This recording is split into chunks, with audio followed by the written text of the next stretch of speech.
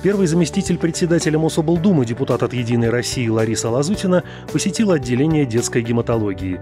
Оно работает на базе многопрофильного детского стационара педиатрического отделения Одинцовской областной больницы на бульваре Любы Новоселовой.